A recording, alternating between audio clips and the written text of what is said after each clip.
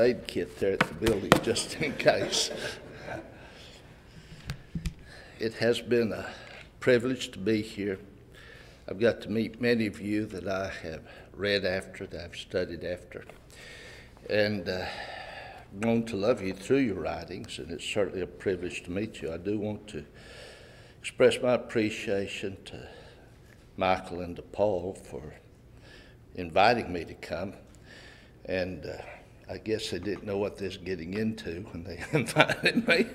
But uh, Michael, I really didn't realize that I'd gone over time. I thought I'd done real good. and uh, I, I don't hear things. but it is a privilege to be here, and I'm honored to be here. And Michael said to keep it short, and I'll do my best to do that. My topic is the all sufficiency of the church. I believe that we live in a strange age. We live in an age where things are, as Dub wrote in an article, topsy turvy. An age where things are not as they were whenever I was a young person. Oh, there's always been sin. There's always those who hated Christianity. That, that's been around for a long time. But there's now attacks upon Christianity. It's not, it doesn't bother a school to have activities uh, on Wednesday nights. When I was a young person, that was unheard of. Uh, the things that the news media portrays us as, and the, just the even the entertainment media, the way that they portray us as being bigoted, uh, harsh, and hateful, and self-righteous, is certainly not an accurate picture. But it is designed to take people more into hedonism and to humanism than it is to point them in a way which will make this nation great. I truly believe that the home is all sufficient when it follows God's rules. I believe a government is all sufficient whenever it follows the principles laid down in the Word of God and by God. And this government used to know that. I believe the church also is all sufficient for everything that God has appointed it to do because it was planned by God. Ephesians 3, verses 10 through 11. Because it was built by Jesus Christ Himself. Matthew 16, 18, and 19. Because it accomplishes all that God desires it to accomplish. When men are not happy with the Lord's church, as it is revealed in the New Testament, these same men of necessity believe that they know more than our God in heaven. Jeremiah 10, verse 23. Lord's church, and I want to go through some of these areas. First of all, I want to talk about the work of the church, and then we'll talk about some ways men have changed it. The Lord's church is all sufficient for the work of evangelism. The church does not need to form separate organizations to do the work of evangelism, such as the Missionary Society. This is saying God's church is not sufficient to accomplish what God set it down here upon earth to do. 1 Timothy 3, verse 15. If I tarry long, that thou mightest know how thou oughtest to behave thyself in the church, in the house of God, which is the church of the living God. So Paul made it very clear, very clear, that it is the church that's the pillar and the ground of the truth. It is the supporting structure of the truth, and it is also to take that truth out into all the world. In Acts, the 11th chapter, we go back to the time of the persecution of Paul. And I believe it skips a little bit here to the time after Peter's preaching to the gospel. I believe that's the only con.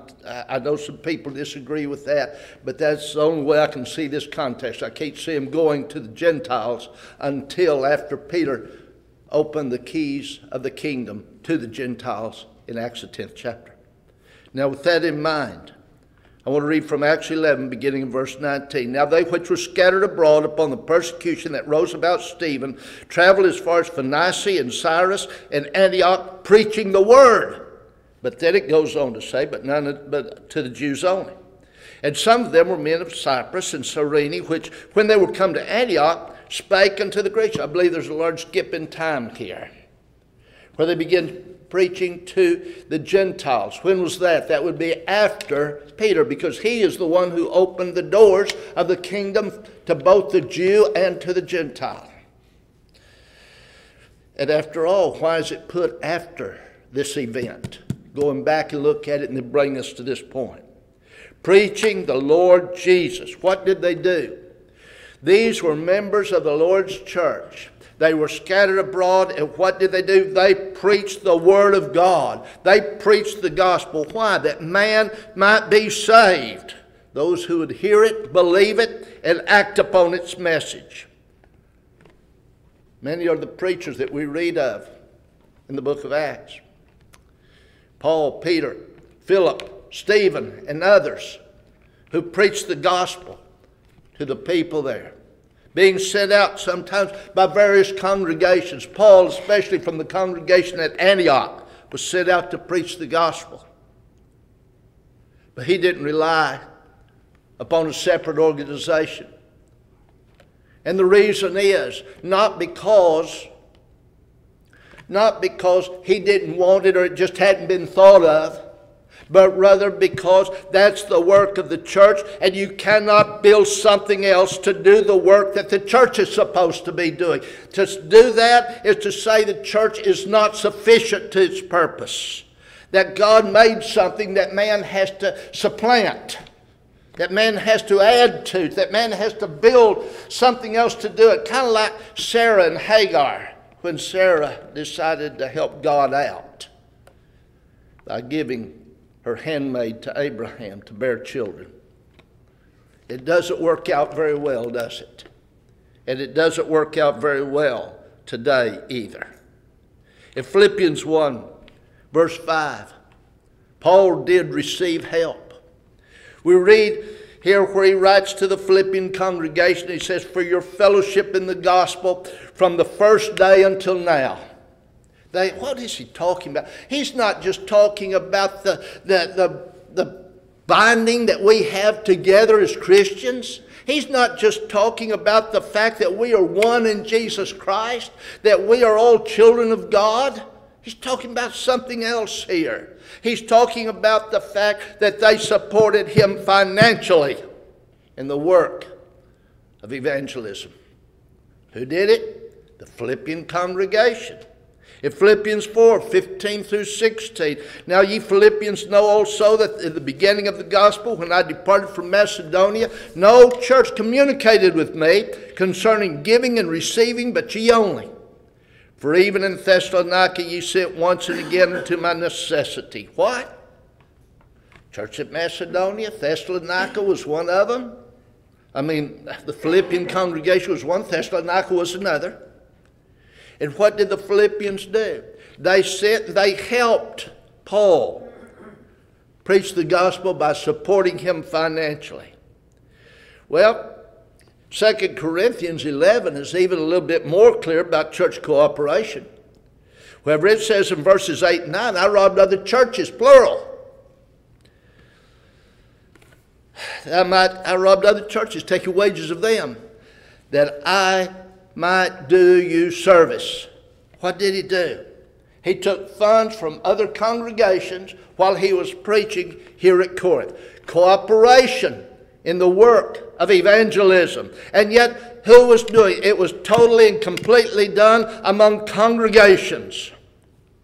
He goes on to say in verse 9, I'm going to notice part of that. That which was lacking to me, the brethren which came from Macedonia supplied. Talking about financial help here. Why didn't they build a missionary society? Because God didn't authorize it. God didn't want it. He, said they put the church here for the purpose of, of evangelism. That's its work, and we don't need to build some man made organization to do what God built the church to do. Well, someone said, well, what about publishing houses? Aren't they doing the work of evangelism? Well, they do not themselves evangelize. They produce materials that the church purchases to use in evangelism. Completely different. Michael, you might buy certain material from a publishing house. Other congregations might buy from that same publishing house. But we're not all sending that publishing house money and then they decide where to send it, do we? Doesn't work that way. We buy the materials and we distribute them as we see, the, see fit to do so. It's not a separate organization doing the work of the church in evangelism. They're supplying materials for us. Completely different thing. Well, what about congregations supporting the work of an evangelist through a sponsoring congregation? It's still the work of the church and the church is supporting and performing that work. No new organization has been built to do the work of the church, and you have just as much autonomy in each congregation that sends money to that supporting congregation as though you had sent it to the work itself. You've decided to support that work. The funny ideas that people come up with about forbidding things that's perfectly reasonable, that's perfectly right. And certainly it's right and proper that we can use a good means and a proper means to support those in other areas.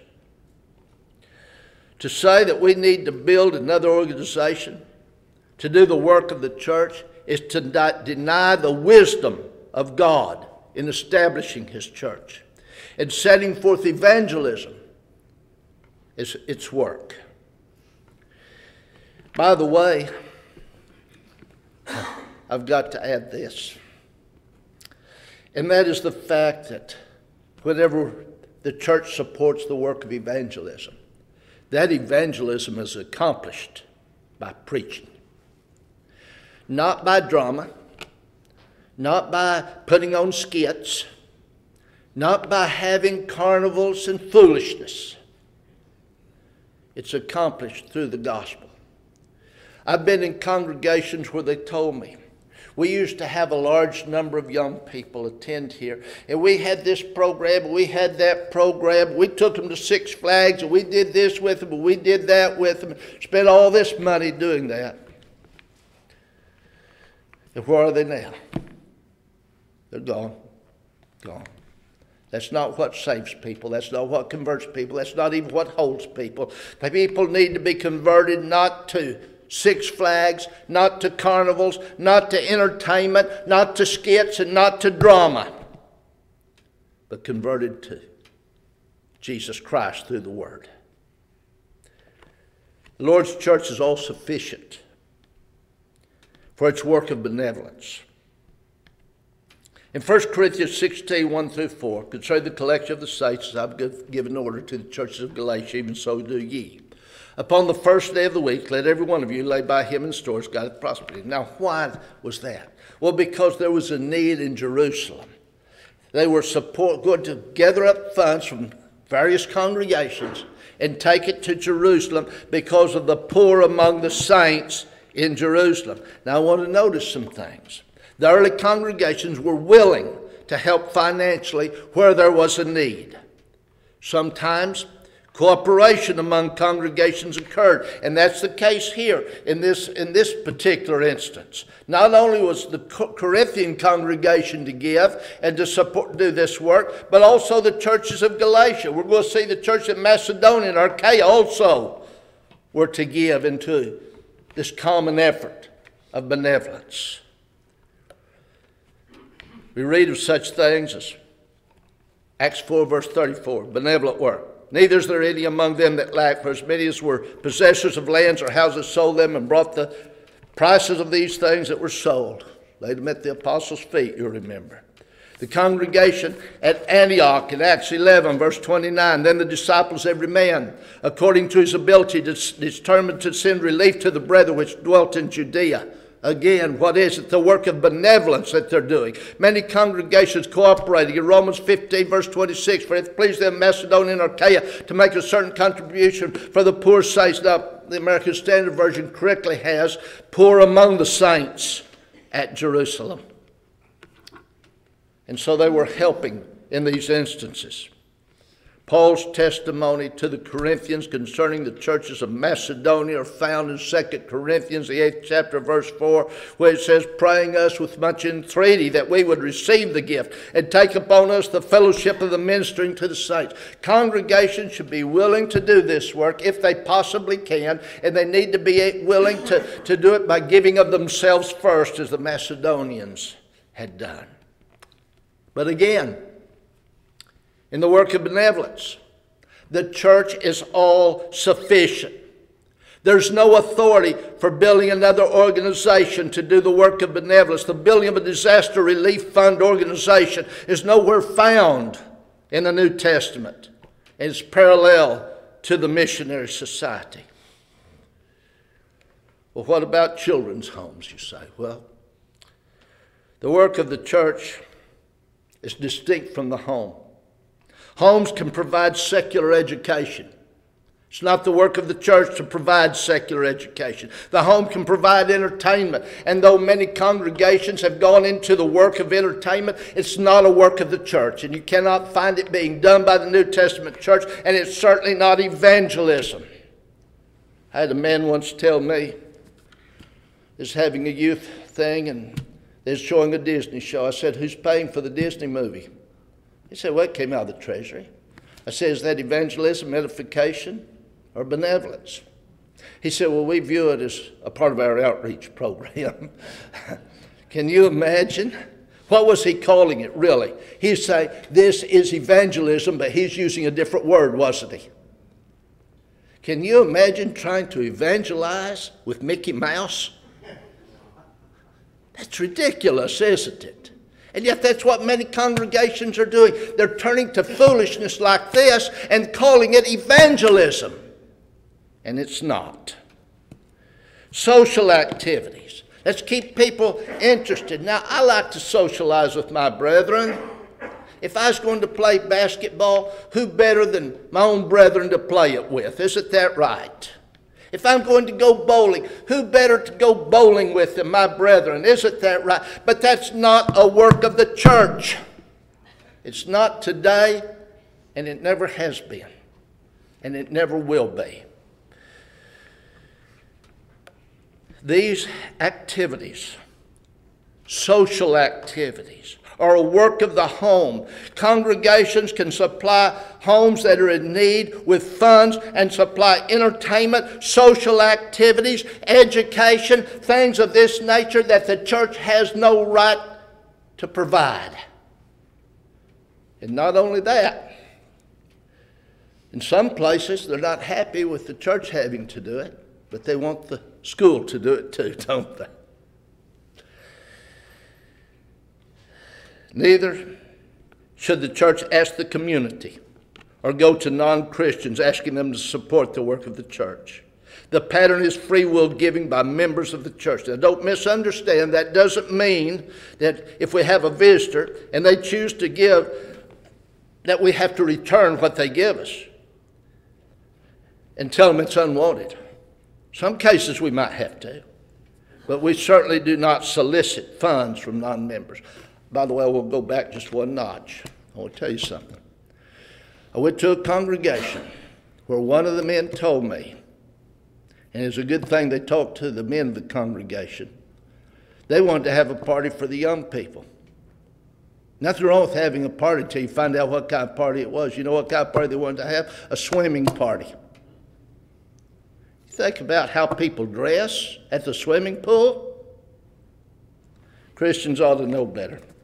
That time it was good that they came to the congregation and talked to the congregation about it first. The Lord's church is sufficient in edification. Paul, writing to the church at Ephesus in Ephesians 4, verses 11 through 16, I'm only going to notice a part of that because Michael will get mad if I read too much. For the edifying of the body of Christ. for the edifying of the body of Christ. What? The church is to do this. It's to edify the body. What is the body? Time after time after time, we've looked at Ephesians, the first chapter, last two verses, Colossians 1, verse 18, and we've seen that the body is the church. And then at the last verse of that, that that passage, verse 16, it says that it maketh increase of the body unto the edifying, the building up of itself in love.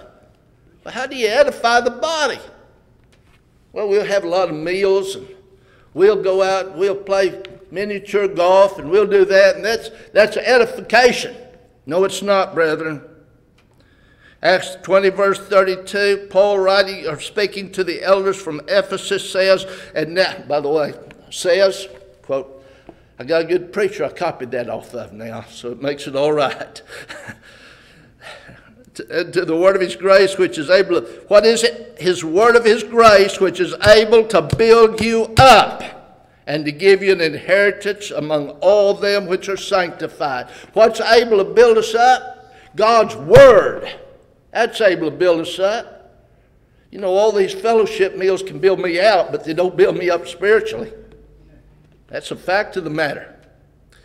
Well, let's go on. By the way, to build other organizations to do the work of benevolence is to say that the Lord's church is insufficient. The same thing applies edification, some of the foolish ways that people are trying to accomplish ed- ed- edification, and some of the foolish things they're doing as congregations to do that. Had one preacher, don't know if I told you this or not because I forget what I tell people, but had one preacher say that he went to a congregation to talk to them about the work.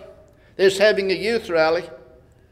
And whenever he got there, a clown met him on the parking lot.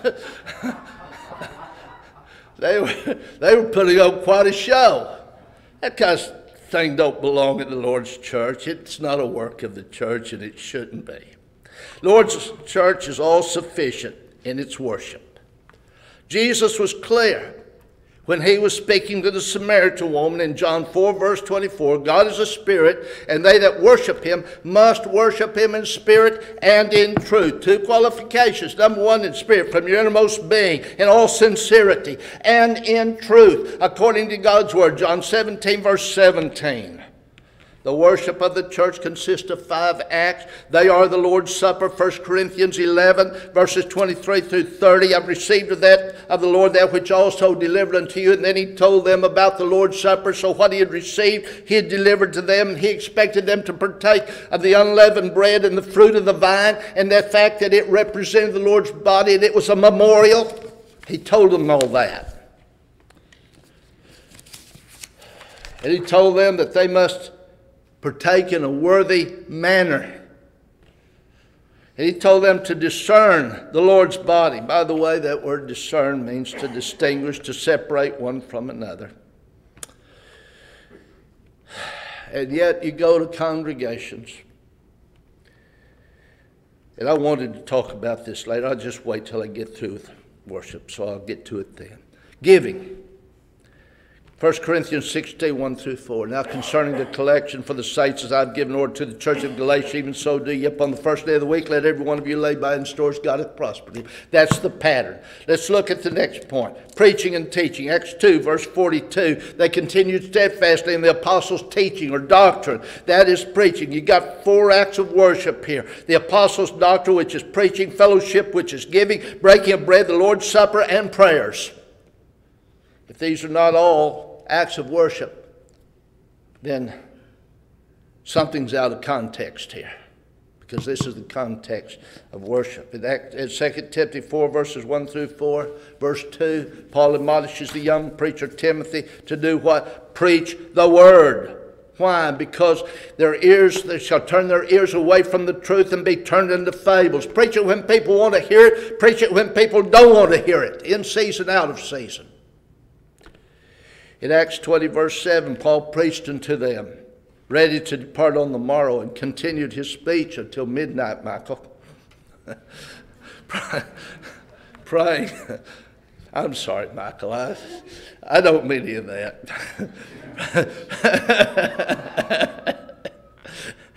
Praying. Acts 2, verse 42. They continued steadfastly in the apostles' doctrine, fellowship, breaking bread, and what else? And in prayers.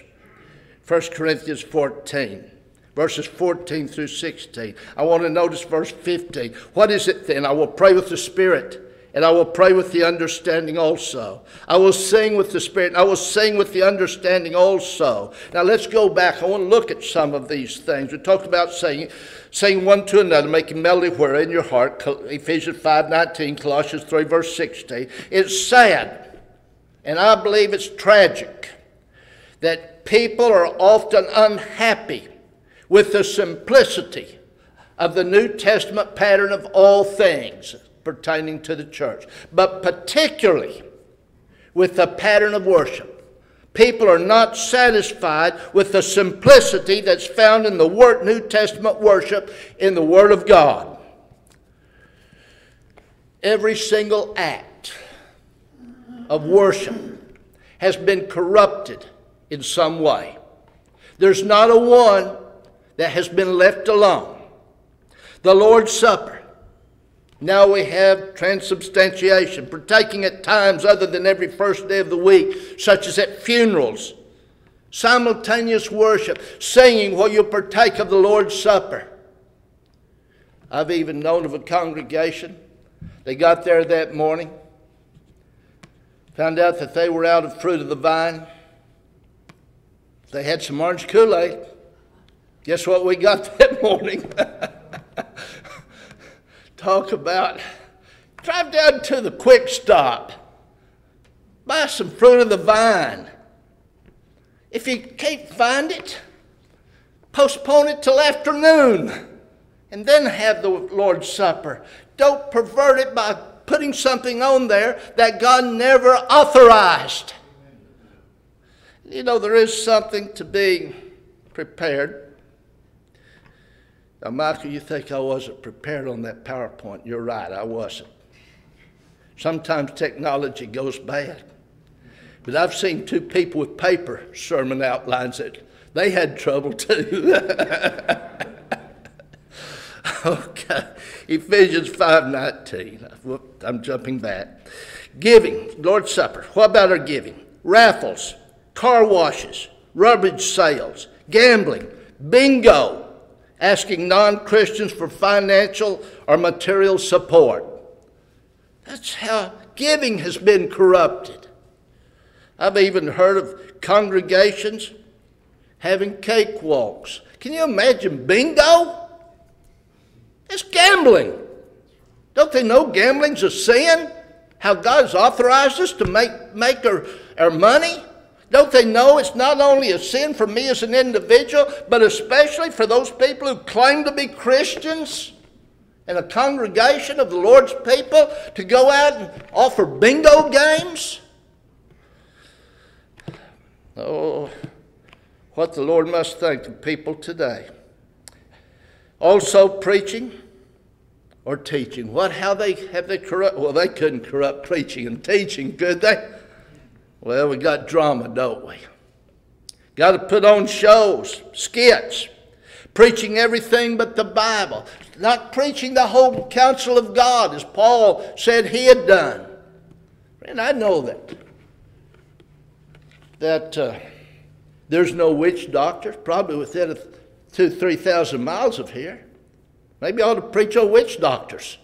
Won't make anybody mad that way. Certainly don't want to preach on social drinking might make somebody mad. Got to have that check coming.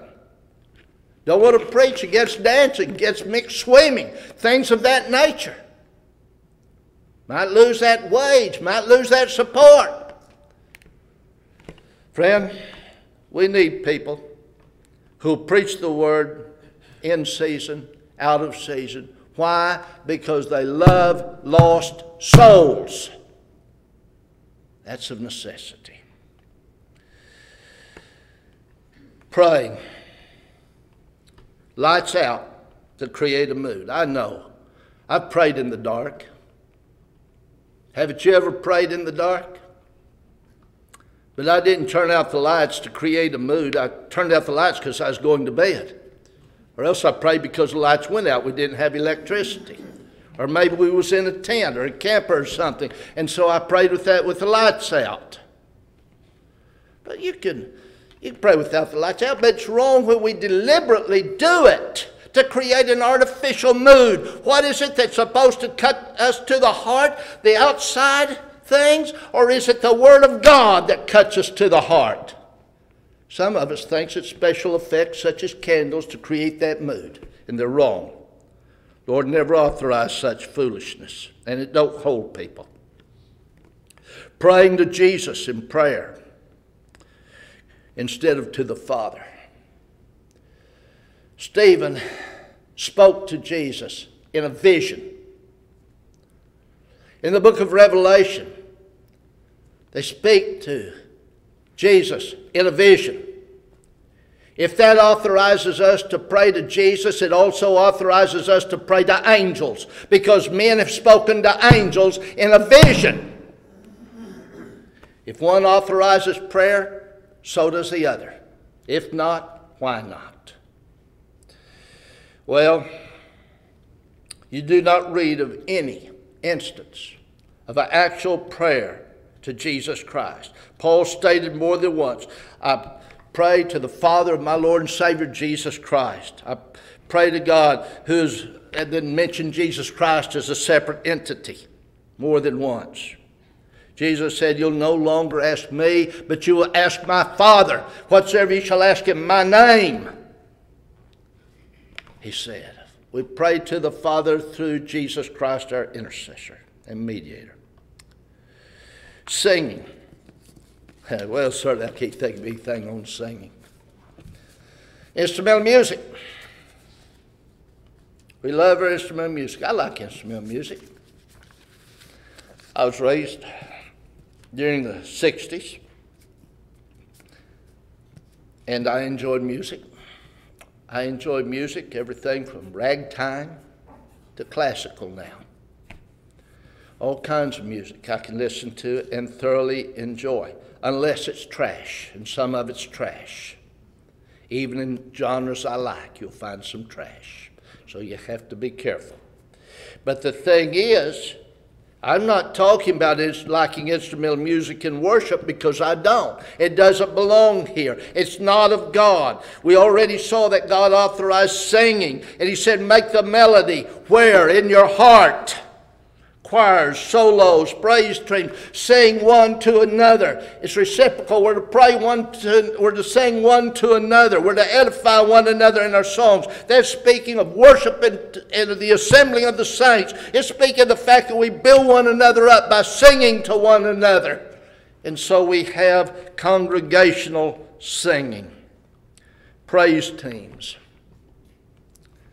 I have no idea where we came up with that give a few of our best singers microphones because we want the singing to sound good. Well, I believe each and every one of us ought to sing to the very best of our ability. I don't believe that we ought to be slack in our worship to God in singing or prayer, or any aspect of the way we worship God. But let me tell you something. If the best you can do is a screech, then screech because we're to sing. And Dub will tell you right off the bat. I don't know if he's heard me sing, but if he has, he'll tell you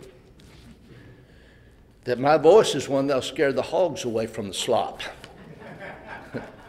and that's the truth. so we need to sing anyway. And I don't believe in, in not singing because my voice isn't good. The Lord doesn't need our additions or our substitutions in worship. While some may well want to alter the Lord's plan to entice the worldly, God's worship is sufficient. And to deny this is to deny the wisdom of God. God's church is sufficient in all of these areas, in its worship, in its work. Jesus said, Worship God in spirit and in truth. Any and all changes to the pattern revealed in the New Testament make worship empty and are no more acceptable than that of Nadab and Abihu in Leviticus, the 10th chapter. Matthew 15, verse 9, but in vain, empty do they worship me, teaching for doctrine the commandments of men.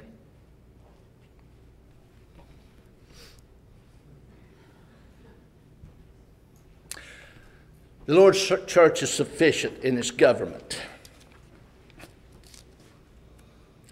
To deny that is to deny the all sufficiency of the church.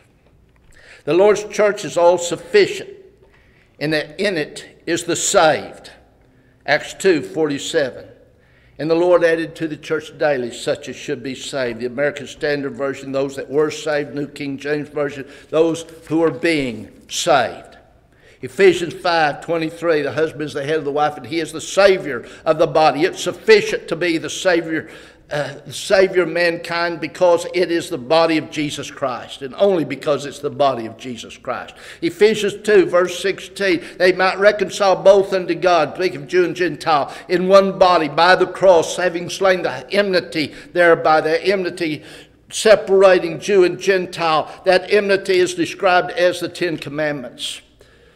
The body is the church, Ephesians 1 22 and 23.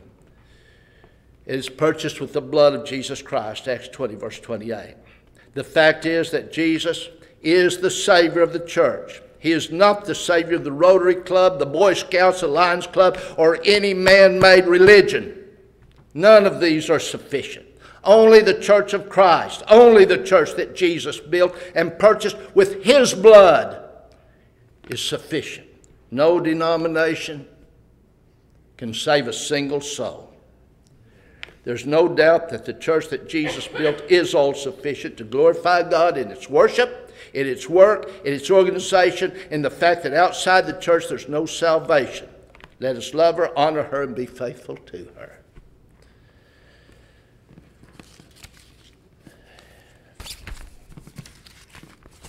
Acts, the 16th chapter, Paul and Silas had been freed from prison by an earthquake. The jailer asked the question, What must I do? whenever he realized that all the prisoners were still there.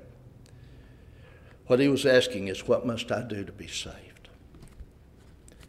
They answered and told him, Believe on the Lord Jesus Christ, and all thy household, and thou shalt be saved.